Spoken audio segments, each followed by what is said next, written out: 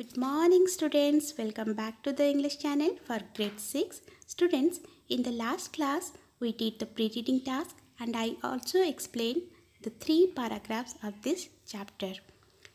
So in this chapter so in this video I'll explain the summary or the gist of this approach the lesson Friend in Need. Children, Friend in Need is an extract from the holy epic Mahabharata written by the great sage Vedavyasa. This extract is about Karna, who was born to Kunti before her marriage. Karna, so he is the elder brother of the Pandavas. Once Kunti served sage Durvasa with utmost devotion when he was a guest at the palace of Kunti. Says Durvasa was greatly pleased and he taught Kunti a mantra to invoke the gods. Accordingly, when the mantra was invoked, when the mantra was called, the gods should bless her with sons equal to themselves in glory.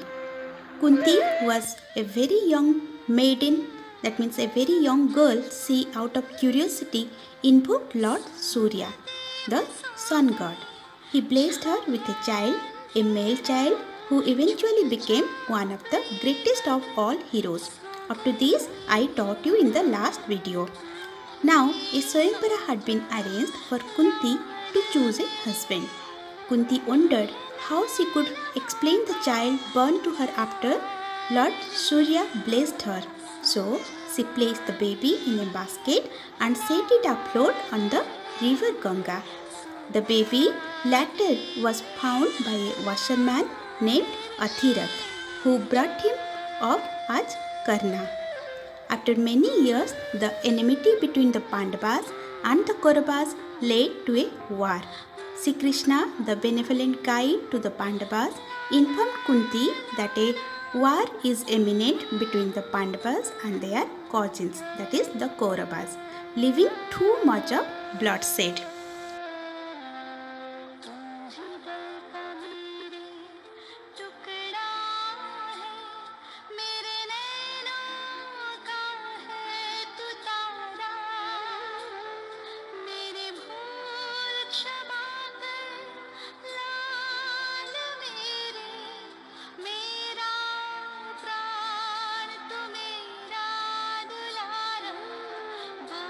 Now, Kunti was in a great dilemma, great worried, trouble, because Karna, her firstborn, was with the Kauravas and he would fight with his brothers, that is the Pandavas.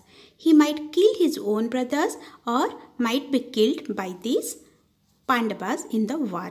So Kunti made up her mind to tell Karna the truth regarding his birth and persuade him to leave Duryodhana and to join his brothers, that is the Pandavas, against the Kauravas. With Karna on, the, on their side, the Pandavas could easily defeat the Kauravas because Karna was very brave and very skillful. The next morning, she went to the banks of the Ganga where Karna had the habit of praying every morning after his prayers. After his prayers, he opened his eyes and saw Kunti. He greeted her. He greeted her respectfully. He bowed down his head before Kunti. That means he touched feet of Kunti. Kunti related the story of his birth and begged him to join his brothers, the Pandavas, and he said to defend them against the Kauravas. Karna gently told Kunti that he is indeed the son of Kunti, but Adhirath and Radha cared for him and brought him up.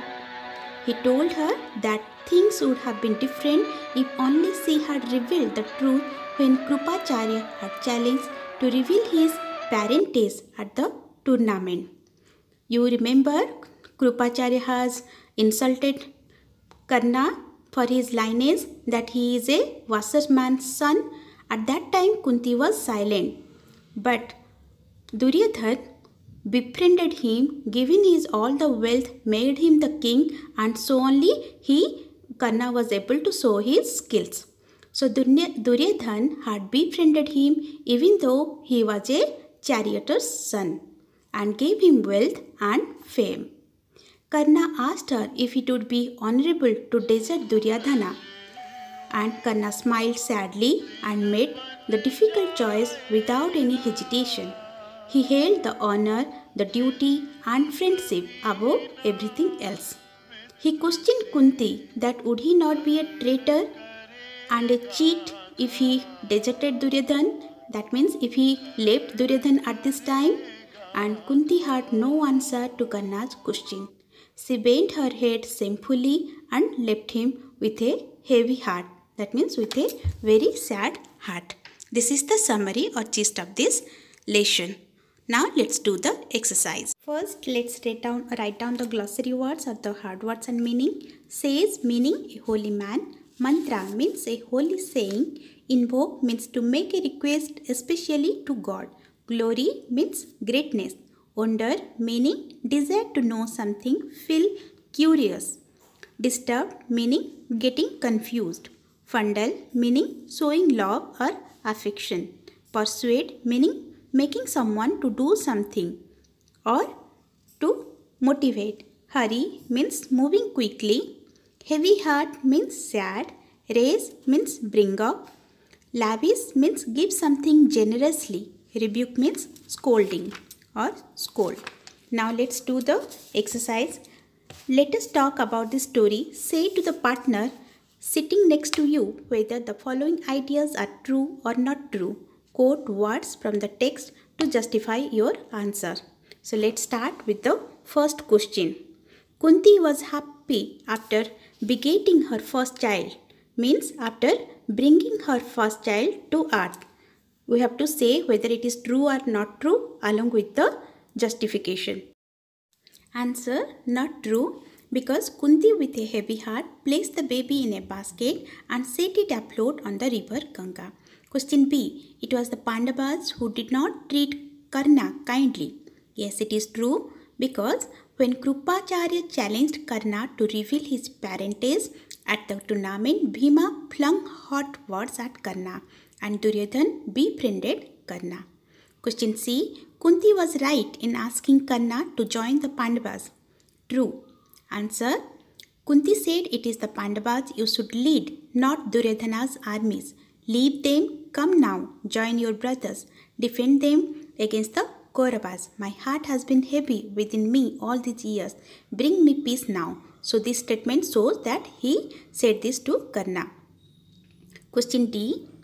Karna was sad but he was determined to fight on his friend's side. Yes, true. Answer why it is true? Because Karna said, Duryodhana gave me wealth of kingdom, power, armies. More than that, he gave me friendship, a lifelong friendship.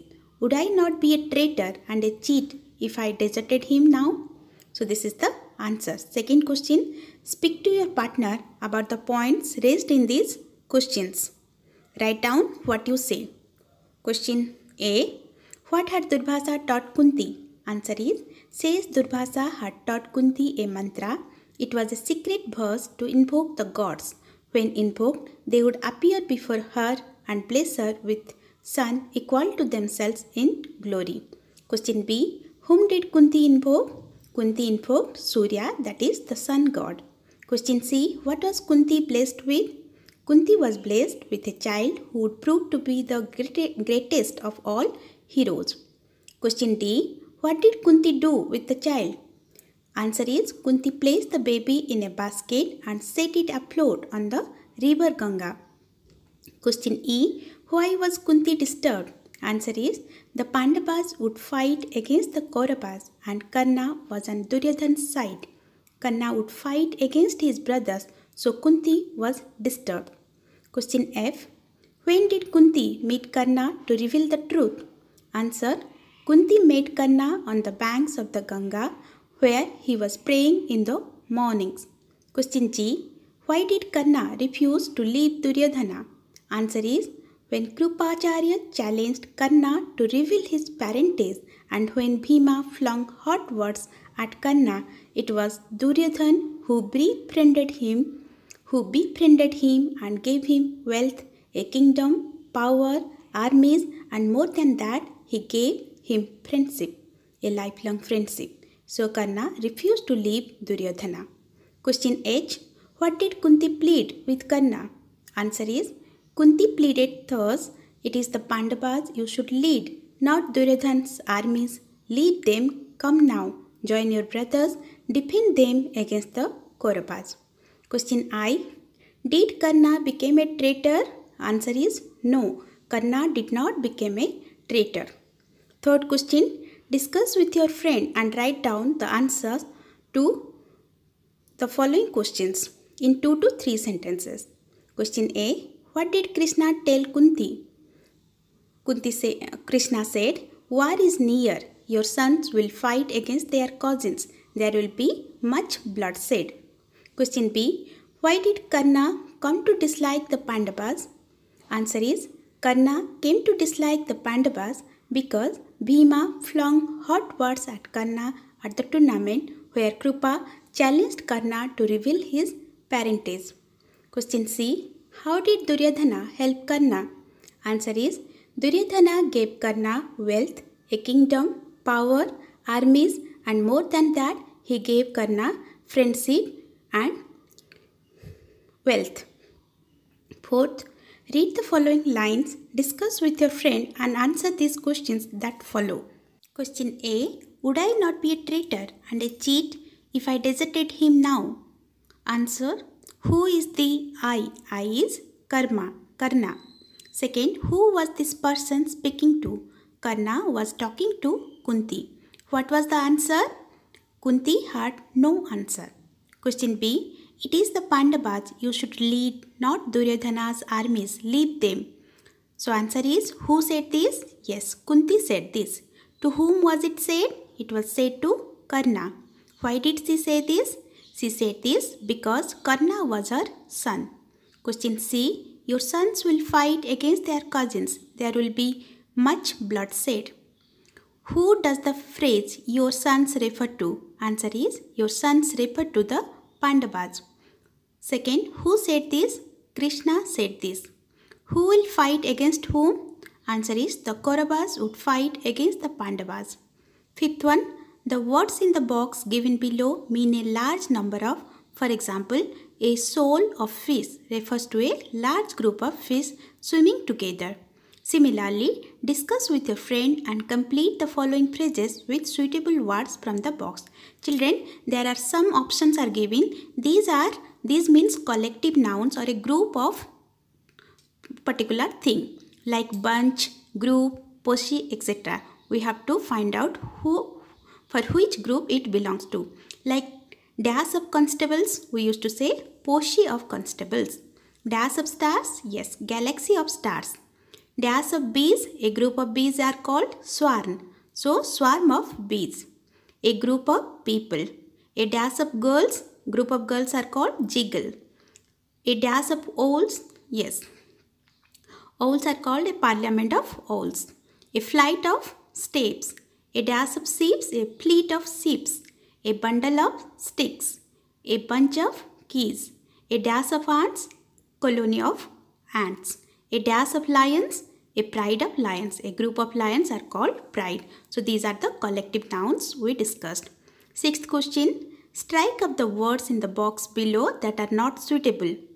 Karna made a choice not to desert the Kauravas to join the Pandavas. This shows that he held dash above everything else. We have to find out or select the attributes or the virtues. Like he selected duty, honor and friendship above everything else. Now grammar part children, I'll teach you this grammar. In this chapter the grammars are preposition. So let's discuss what is preposition and where to use this type of prepositions. Children, preposition is a word which is placed before a noun or a pronoun to show its relationship, to show its position with some other word in context to some other words in the sentence. For example, at, in, on, under, for, from, into. These are the common prepositions. So, we'll learn about this preposition. It is mostly used to show the direction, location, time or to introduce an object. For example, let's fill in the blanks with these suitable prepositions and I will make you explain this. First one, Kunti sat dash the bank looking dash as he stood dash the river meditating dash Surya. So here Kunti sat dash the bank children here it is used as a expressing a surface of something. So where it is used as a surface of something we should use the preposition on. So we can use Kunti sat on the bank looking at Karna because at is used for specific location or specific place or specific person if it is particular. So he is looking at Karna specific person as he stood dash the river in the river because in is used while expressing a location or a larger place.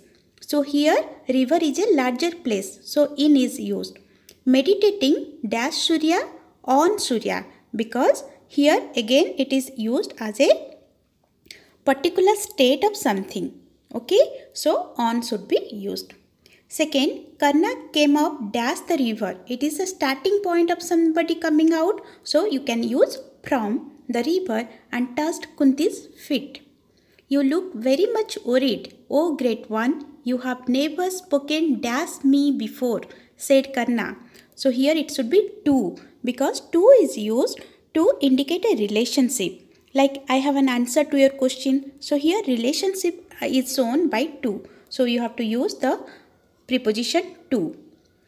D. I will do whatever I can dash you. Tell me how can I help you. So here the preposition would be for because for is used to show the uh, kind of something. If you are showing to use of something or if you are using it as a because of that means I will do whatever I can because of you.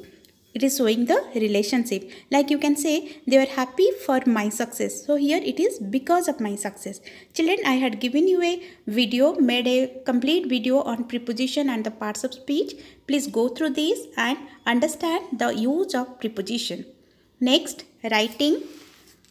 Do you want your friends to know you better then write a paragraph about yourself. You could write about yourself from any point of views or choose one of the following topics. Your ambition. You can say my ambition is to study well and become a teacher. I want to educate the future generation of India. I want to fulfill Dr. Kalam's dream to some extent. Question B. Thing you enjoy doing the most? Yes, you can write the answer as I like to mind the class when there is no teacher in the class. I like to tell them stories and entertain them with word game and learn the lessons in a playful way. Question C. Your hobby. You can write any of your hobbies. Like I can write my hobby is to collect pictures from the magazines and newspapers on the theme natural calamities. And I paste these pictures and prepare a scrapbook and present that to the school library. Work with your partner and do the exercise given below. The Mahabharata is an epic of ancient India. In one part of this dash epic, a strange dash takes place. Yes, moment takes place between a mother and her dash son. It is heartbreaking to know of them, but the dash is determined, the mother is determined to ask a favor of her son. The son sadly tells that he cannot oblige her. Read this story to find out why the mother must tell Dash him for the very first time who she really is, what favor she asks of him, does she or does she not feel justified in asking the favor, and what the son tells her in return. So this is the fill in the blanks. Children, there is two uh, activities picking Say the following sentences clearly but as quickly as you can. So you can say it very quickly. I feel a feel, a funny feel, a funny feel, I feel. If you feel the feel, I feel, you will feel the feel, I feel. Second is, his striving for perfection with constant preparation and determination was not only his obsession but his passion. So you can say it quickly and clearly like this. See here you can uh, see that the pronunciation for T-I-O-N and double S-I-O-N is little different. You have to you have to stress on the syllables that is the vowel sounds. Okay like shun and shun like expression and determination or obsession. Done children? Hope you understand. You have to trace the syllable. Children, I have made a video on syllables also with games. Watch this and again practice the syllables. Do you understand everything? Hope you understand. Thank you for watching children.